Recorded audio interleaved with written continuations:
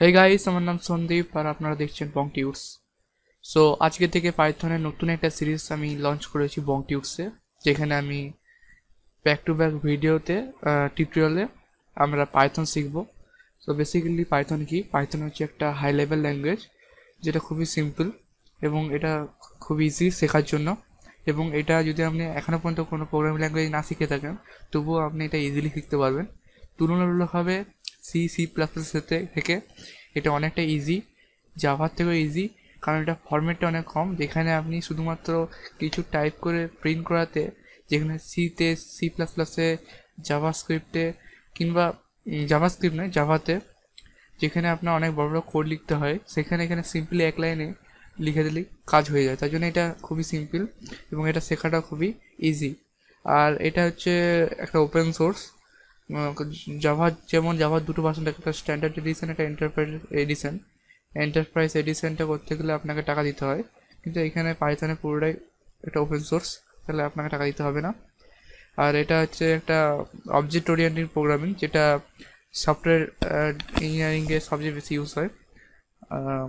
Java Java C plus plus এগুলো সবই object oriented programming তাহলে সিটা হচ্ছে procedure oriented programming object oriented programming কী, এগুলো যদি আপনারা না জেনে থাকেন ভিডিও সিরিজের সাথে যুক্ত থাকুন, আপনি খুব তাড়াতাড়ি এগুলো ব্যাপারে জেনে যাবেন।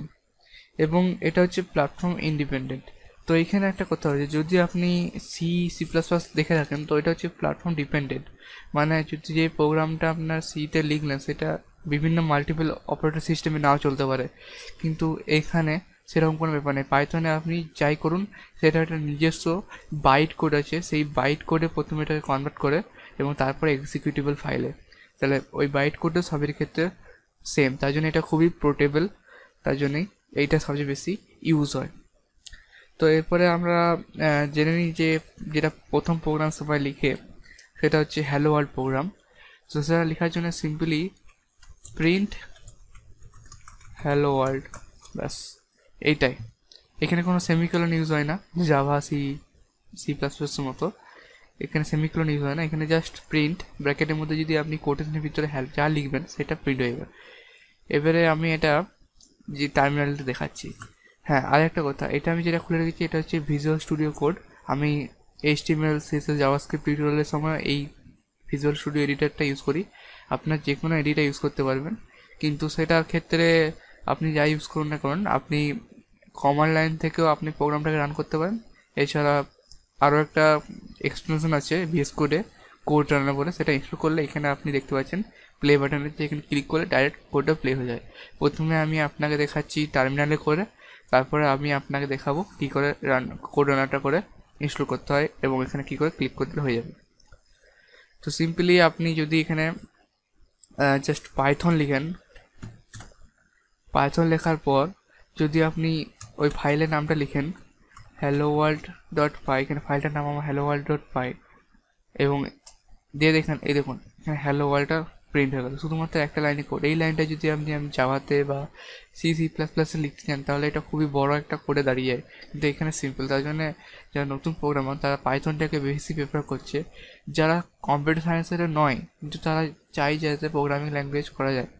প্রোগ্রামিং ল্যাঙ্গুয়েজ শিখতে চায় তাদের ক্ষেত্রে পাইথনটা একটা খুবই সুবিধা। এবং পাইথনটা স্পেশালিটি হচ্ছে, এগুলোতে অনেক ধরনের নিউ নিউ লাইব্রেরি আছে এবং তাদের পাইথন ডেভেলপার আছে, যাতে আপনি মেশিন লার্নিংয়ে কাজও করতে পারেন ইমেজ প্রসেসিংয়ের কাজও করতে পারেন। এছাড়া আপনি ওয়েব ব্যাকএন্ডও ইউজ করতে পারেন। যেমন আমি ওয়েব ডেভেলপমেন্টের সিরিজে বলেছিলাম যে ব্যাকএন্ডের ক্ষেত্রে আপনি পিএইচপি রুবি বা পাইথনও ইউজ করতে পারেন সেখানে। তো জাভা ইউজ হয়। তো ব্যাকএন্ডের ক্ষেত্রে আমি এখানে পাইথনের জ্যাঙ্গো যে ফ্রেমওয়ার্কটা সেটা খুবই পপুলার তো ওটা অ্যাডভান্স জিনিস। আগে আমরা বেসিকগুলোকে যদি ক্লিয়ার হয়ে যায়, তাহলে আমরা জ্যাঙ্গোতে আমাদের শিখতে পারব। কারণ জ্যাঙ্গো শেখার প্রি রিকোয়েস্টটাই আমাদের এইখানের পাইথন তো এতটা পর্যন্ত জানা গেছে। এরপর হচ্ছে যে আমরা পাইথন শিখব কেন? কারণ আরও অনেক ল্যাঙ্গুয়েজ আছে। একটা তো আমি জিনিসগুলো বলে দিলাম যে এটা সিম্পল শেখাটা। আর দ্বিতীয় হচ্ছে, এটা সবচেয়ে এখনকার পপুলার হয়ে গেছে। কারণ এখানে যে বিভিন্ন রকমের কাজ থাকে মাল্টিপল কাজের জন্য এটাকে ইউজ করা হয়। এবং এটা সবচেয়ে ইজিয়েস্ট ওয়ান আর এটার এমন কিছু লাইব্রেরি আছে, যেমন ম্যাট প্লট লিভ যেটা দিয়ে আপনি টু ডি থ্রি ডি প্লটিংও করতে পারেন। এবং এটা ক্ষেত্রে আরও জিও অ্যাপ্লিকেশন আপনি বানাতে পারেন। সেটারও ডিটেল ভিডিও এই সিরিজের মধ্যে থাকবে। প্রথম কথা হচ্ছে যে এটা জিওআই অ্যাপ যদি বানাতে হয়, তাহলে বিভিন্ন অনেক রকমের লাইব্রেরি আছে। যেমন টিঙ্কার যেটা ভালো, এবং এর থেকে ভালো আছে পাই কিউটি এবং এরকম ধরনের আপনার অনেক কিছু জিনিস আছে। এটা দিয়ে আপনি মোবাইলে অ্যাপও বানাতে পারবেন, এবং এটার জন্য লাইব্রেরি অ্যাভেলেবেল আছে।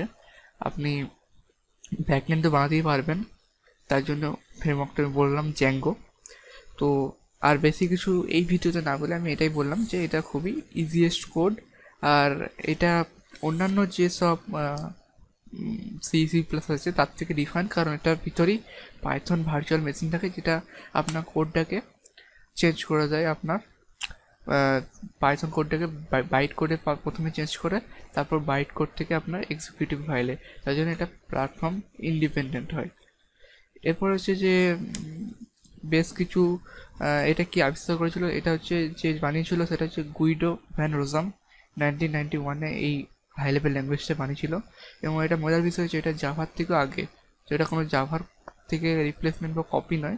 এটা জাভার থেকে আগের প্রথম ভার্সন এসেছিল সো আজকের মতো এই পর্যন্তই। এবং আমি পরে ভিডিও দেখাবো কী করে এটা ইনস্টল করতে হয়। তো ততক্ষণ পর্যন্ত আপনারা দেখতে থাকুন।